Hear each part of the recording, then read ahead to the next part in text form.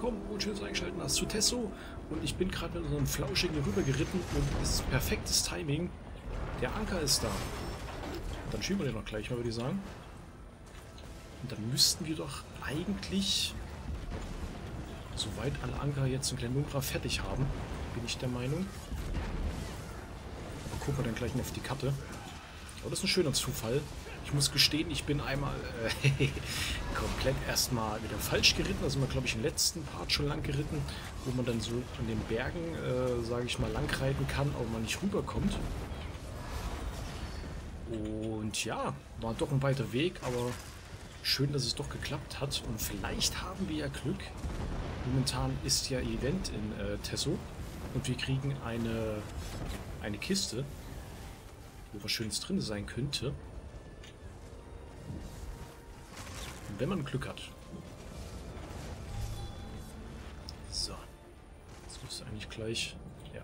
Kniet vor mir und ergebt euch Geht's der los? Macht von Molag Bal. Komm her, du Schuft.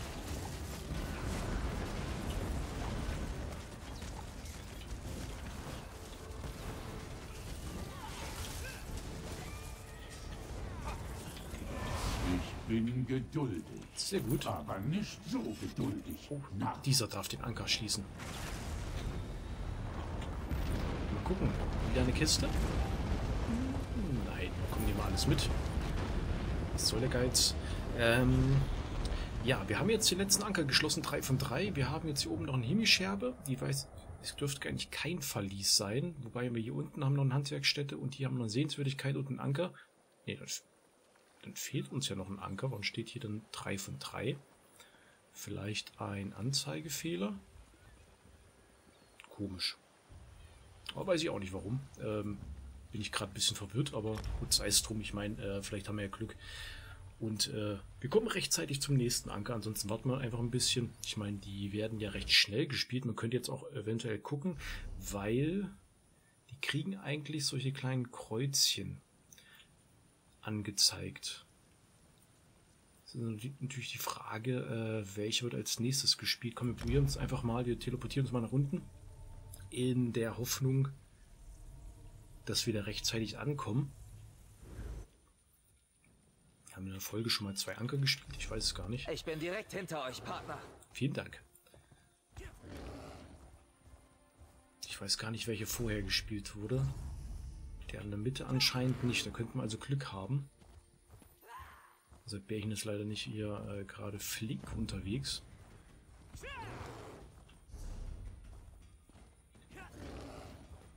Und da wir es nicht aufgedeckt haben, kriegen wir so wahrscheinlich auch nicht die Anzeige, ob der jetzt aktiv ist oder nicht. Die Ruhe vor dem Sturm. Ah, kommt ein Spiel lang, vielleicht weiß der mehr. Wir haben auch keinen Erfolg bekommen irgendwie, dass wir... Ah, da, perfekt. Ja, perfekt hier, super Timing. Also das war nicht äh, vorher so geplant. Ich hatte zwar noch im Hinterkopf, dass ich beim letzten Mal gesagt habe, ähm, wir müssen noch einen Anker spielen und dass ich euch ev- eventuell abholen werde dort. Aber gut, das sind halt zwei. Dann gucken wir danach äh, Richtung Heli-Scherbe. Wenn wir sie finden. Und da das ja nur eine Stadt sein soll, dürfte sich jetzt nicht als zu schwierig herausstellen. Ja. Next one. Ich muss zu meiner Schande gestehen, ich habe es immer noch nicht geschafft, äh, unseren kleinen flauschigen Kajit mal ein Outfit zu erstellen.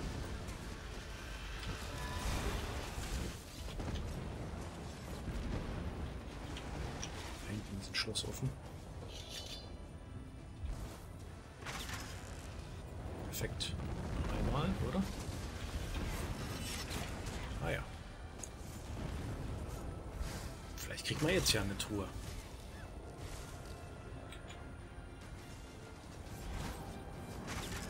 Habe ich das Mikrofon eigentlich? Ja, Mikrofon ist eingeschaltet. Ich wollte gerade sagen. Das wäre jetzt gerade ein bisschen ungünstig. so.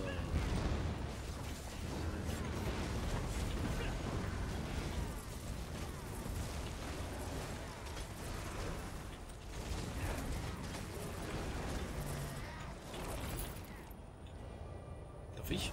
Jawohl. Nichts schmiedet schneller zusammen als gemeinsame Gefahr. Jetzt vielleicht eine Truhe?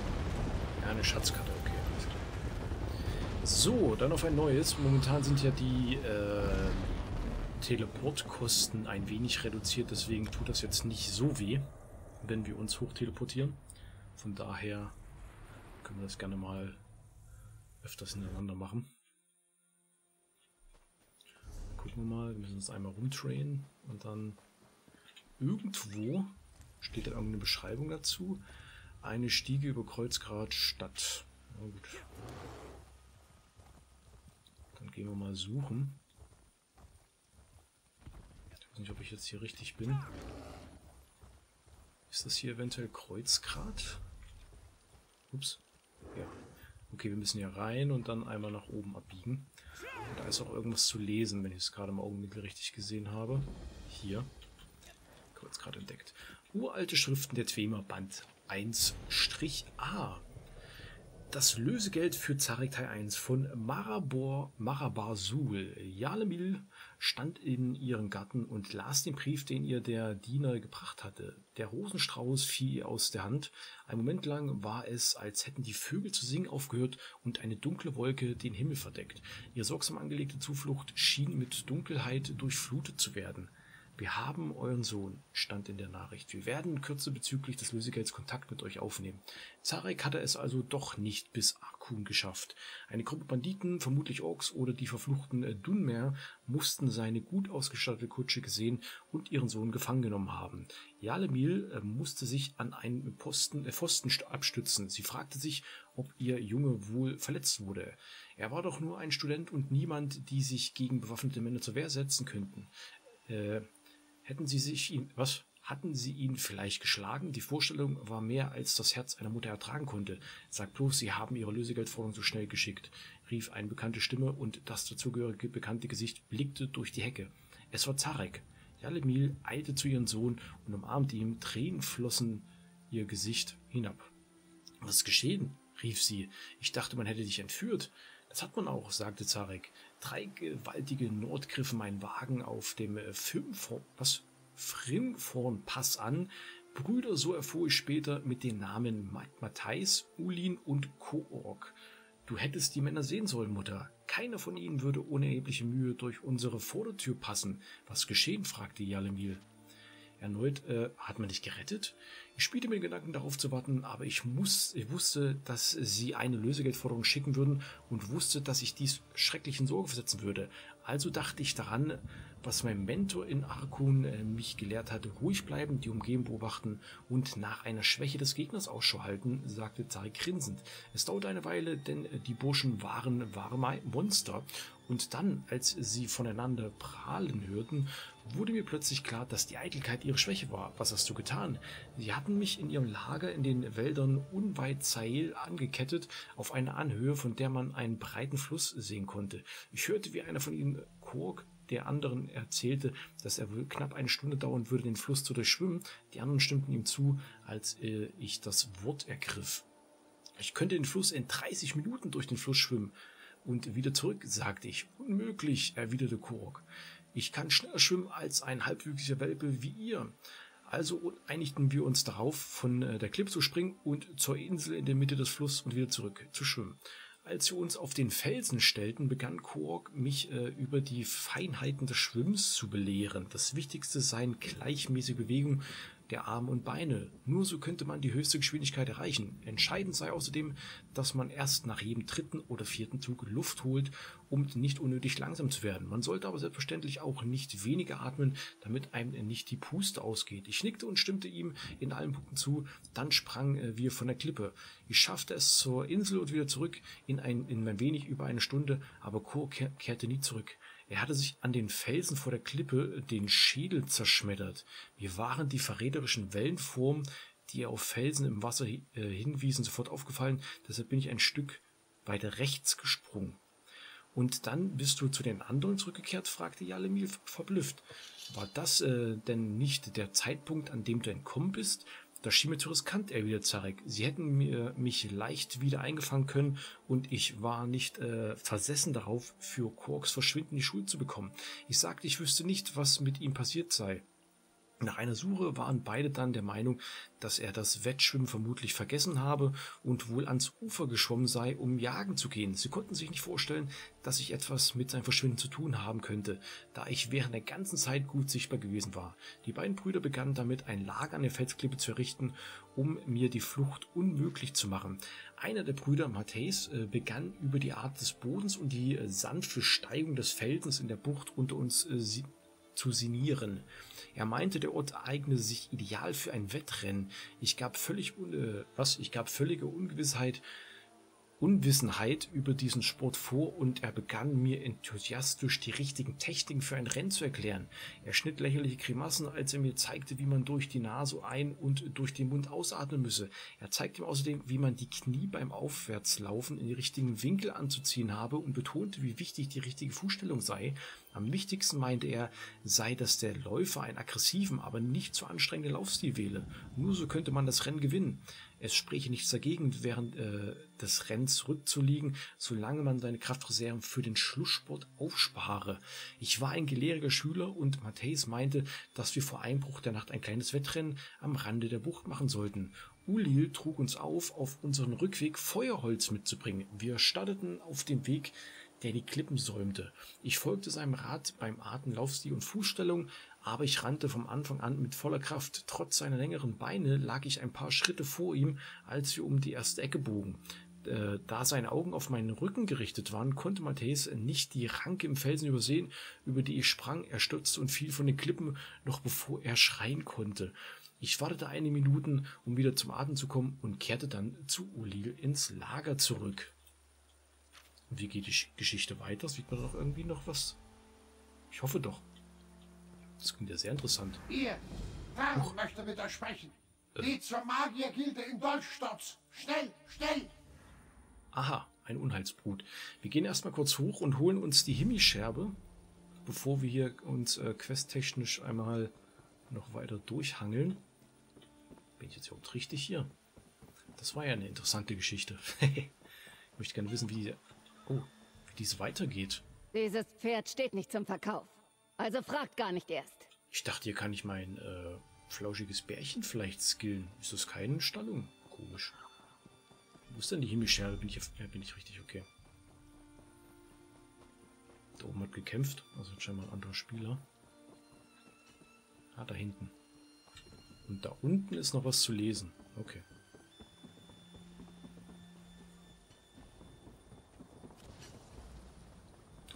Banditen. So, da haben wir gleich noch das Buch.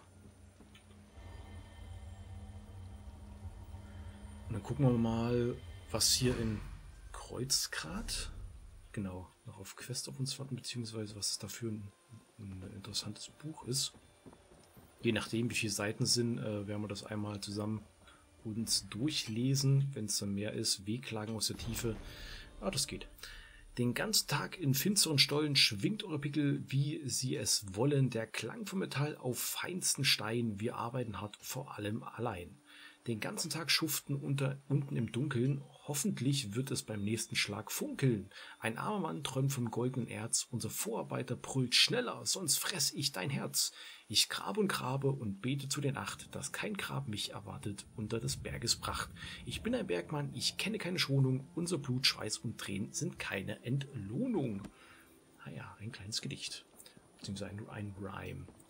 So, ähm, wenn ich das richtig gesehen habe, sind sogar zwei Quests hier drin. Schauen wir mal. Also hier kämpft sich irgendwo ein Nekromant durch. Den will ich mir natürlich nicht anschließen hier. Der tötet hier Unschuldige. Orak der Gütige. Bisher haben mich diese Rotkrähen in Ruhe gelassen. Die meisten Leute lassen mich in Ruhe. Das ist mir auch ganz recht so. Was ist hier dagegen geschehen? Die Rotkrähen haben die Stadt übernommen. Sie haben alle überrumpelt. Ich? Ich kümmere mich um meine Angelegenheiten und hoffe, dass sie einfach wieder verschwinden. Ah, das waren die Banditen da oben. Okay, okay. Ach, ich liebe diese Musik. Colvin Erard. Warum tut niemand etwas? Wir können nicht zulassen, dass diese Rotkrähen mit uns machen, was sie wollen.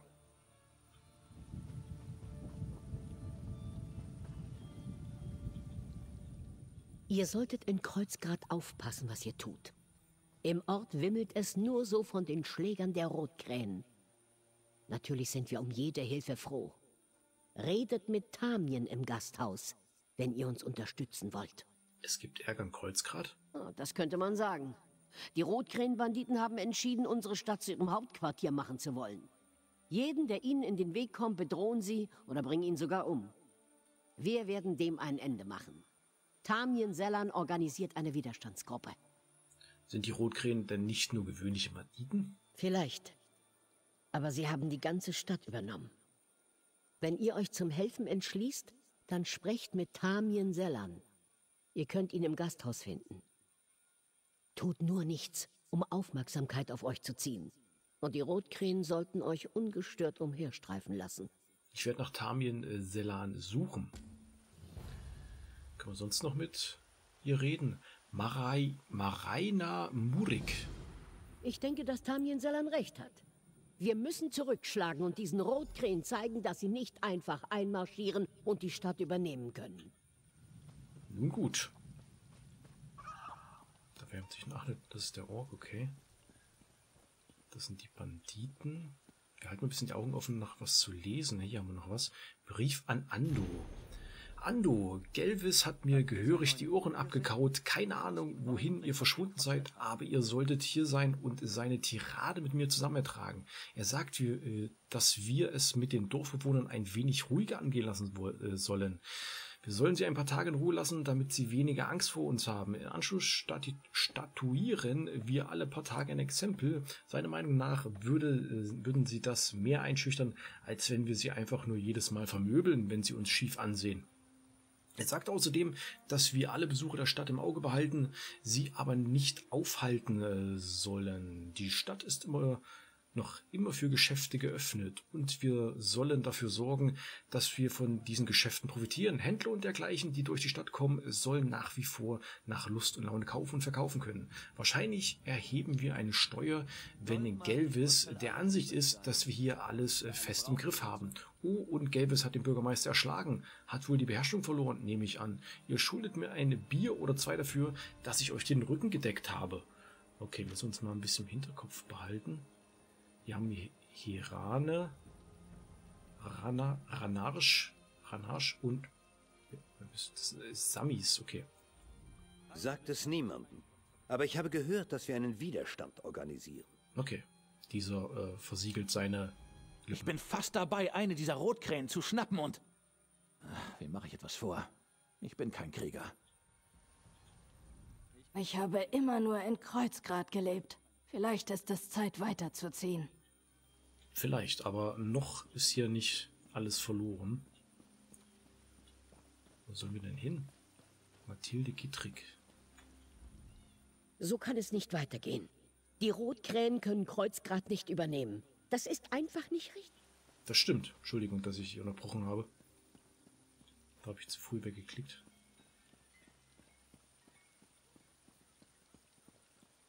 Das Gasthaus hier. Das Gasthaus vom Kreuz gerade, oder? Bisschen leer hier für ein Gasthaus auf jeden Fall. Wir können mal ein bisschen runter gucken, ob wir noch irgendwie...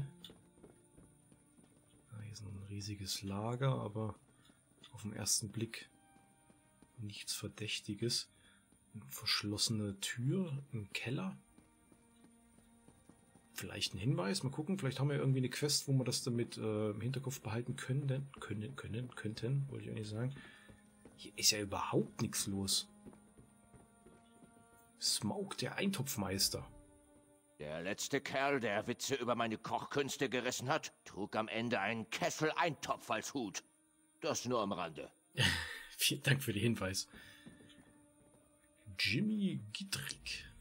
Es ist Zeit, etwas zu unternehmen. Ich habe die Nase voll von diesen Rotkrähen. Hallo. Guten Tag. Al Alinon, der Alchemist. Ihr seid zu einer günstigen Zeit in Kreuzgrad eingetroffen. Ich bin hierher gekommen, um die Einwohner auf Anzeichen von Lykanthropie zu untersuchen und habe festgestellt, dass die Stadt von Banditen beherrscht wird. Was macht ihr hier? Da wir nun ein Heilmittel für Faulschussstrang der Lykanthropie besitzen, haben General Mandin und ich entschieden, dass wir Glen Umbra nach Überbleibseln des Fluchs absuchen werden. Wir werden ihn ausmerzen. Wie läuft es bisher? Langsam und gefährlich. Ich hoffe, Mandin hat mehr Glück als ich. Die Rotkrähen sind ein richtiges Ärgernis. Je mehr wir von ihnen unter die Erde bringen, desto besser. Na, gucken wir mal, ob das so leicht wird. Es kann so schlimm laufen, wie es will. Die Leute wollen immer etwas zu trinken. Traurig, aber wahr. Und für mich läuft das Geschäft immer gut. Müssen wir hoch? Ah ja, Tatsache. Guten Tag, guten Tag. Sagt es niemandem, aber ich habe gehört, dass wir einen Widerstand organisieren. Das ist schon der Zweite, der das erzählt. Okay. Ich bin gleich da. Moment. Gucken es einmal um. Mein Ehemann hat sich diesen Schlägern gestellt. Und jetzt schuftet er als Sklave in der Mine. Ich kann nur hoffen, dass er bald freigelassen wird. Und ich werde in der Zwischenzeit dafür sorgen, dass die Rotkrähen nicht unser Gasthaus zerstören. Vielleicht haben wir ja Glück, können ihn befreien. Kreuzgrad hat schon zuvor schwere Zeiten erlebt. Wir überleben das schon. Das haben wir bis jetzt immer geschafft. Schon viele Räume hier. Hier wurde auch schon sehr viel geplündert, so wie das aussieht. Aber sonst Buch- oder Brieftechnisch sehe ich jetzt hier auf den ersten Blick erstmal nichts. Aber wir gucken trotzdem mal ganz hoch. Kann ja immer mal irgendwas Verstecktes hier sein. Also jetzt nicht zum Klauen, aber äh, Gut, ich könnte jetzt noch die Bücherregale wahrscheinlich einmal durchklicken. Das könnten wir einmal machen. Dass wir die eventuell, dass wir hier noch was Neues lesen. Aber war jetzt wohl nichts dabei. Ein Stab, viele Stäbe, ne? nicht schlecht. So, da ist er doch. Tamien Selan. Ich bereue den Tag, an dem ich mich jemals mit diesen Bastarden von Rotkrähen eingelassen habe. Bei den acht. Damit ist jetzt Schluss. Ich bin hier, um dem Widerstand zu helfen. Wir könnten eure Hilfe gebrauchen. Diese verdammten Rotkrähen. Sie haben eine Stadt vernichtet und nun versuchen sie auch noch Kreuzgrad zu übernehmen. Ich habe einen Eid geleistet. Ich werde meine Rache bekommen. Ich werde die Leute von Kreuzgrad dazu bringen, sich ihre Stadt zurückzuerobern. Was soll dieser tun? Die Leute der Stadt haben Angst. Wenn sie aufbegehren, enden sie als Sklaven in der Mine. Oder es ergeht ihnen noch schlimmer. Wir brauchen die Unterstützung des Stadtrats. Die wenigen Ratsherren, die noch nicht in die Mine verschleppt wurden, müssen den Leuten zeigen, wie man sich diesen Hundesöhnen widersetzt. Ich werde mit den Ratsherren reden. Wir brauchen die Unterstützung des Stadtrats. Ohne ihn werden sich die Stadtbewohner niemals trauen, zurückzuschlagen. Darf ich ein paar Fragen stellen? Natürlich. Ich werde beantworten, was ich kann. Ähm, wir fangen einfach mal unten an. Wie stehen die Dinge jetzt in Adlersbach? Könnt ihr euch das nicht denken? Es lastet mir auf der Seele. Deshalb habe ich den Weg nach Kreuzgrad auf mich genommen. Ich glaube, ich kann den Leuten hier helfen. Mit welchen Ratsherren soll ich äh, dieser sprechen? Die bekanntesten der verbliebenen Ratsherren sind Virgile, Donella und Theodore. Sucht nach ihnen in der Stadt und überzeugt sie, dass sie uns helfen. Sonst sind wir erledigt, bevor wir überhaupt angefangen haben. Irgendeine Idee, äh, wer das Sagen bei diesen Banditen hat? Sternes Gelvis. Er ist die wahre Bedrohung. Ohne ihn sind die Rotkrähen nur ein loser Haufen von Beutelschneidern und Taschendieben. Es war seine Idee, Kreuzgrad zu übernehmen. Er baut sich hier ein richtiges Reich auf. Ja, ja, von denen haben wir ja im Brief das letzte Mal gelesen. Ne? Jetzt haben wir ähm, trommelt den Stadtrat von Kreuzgrad zusammen, sprecht mit Ratsherrin Donella, mit Ratsherr Virgil und Theodore. Ist da noch eine andere Quest?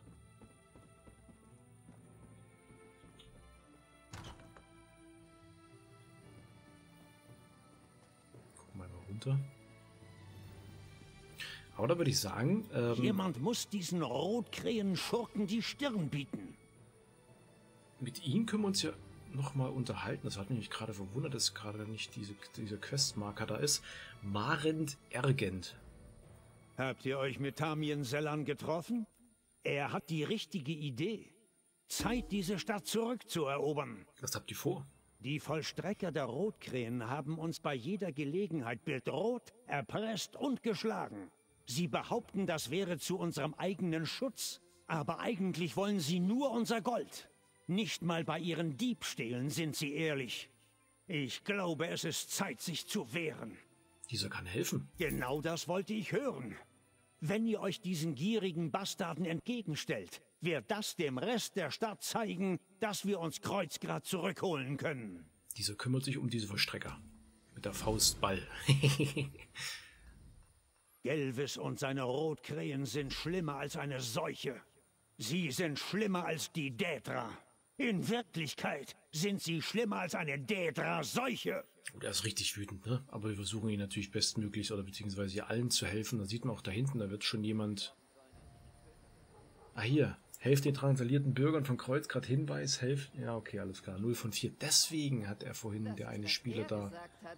Okay, aber gut, äh, dann machen wir erstmal hier einen Cut, würde ich sagen. Ähm, sind ja wieder jetzt mittendrin statt nur dabei, aber bevor ich jetzt hier die Questreihe dann äh, mit euch weiter genießen darf, beziehungsweise ja dann zwei Quests in ein, äh, werde ich gleich erstmal einen Schluck trinken, dann gleich nochmal die, die nächste Folge aufnehmen, weil bin gerade mega gespannt, wie es hier weitergeht und ich hoffe, heute hat der Part Spaß gemacht und äh, ja, freue mich auf euer Feedback, auf eure Kommentare. Lasst mir gerne einen Kommentar da, ein Abo da, ein Däumchen nach oben. Ich freue mich riesig drüber und dann wünsche ich euch einen schönen Tag, morgen Abend. Je nachdem, mal die Videos schaut und sagt bis zum nächsten Mal. Haut rein.